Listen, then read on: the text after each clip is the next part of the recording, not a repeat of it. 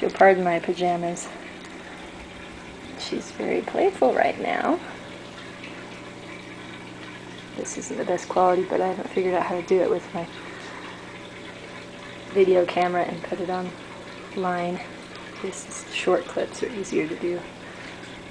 She really wants to check that cat out when she notices him. Go see the kitty.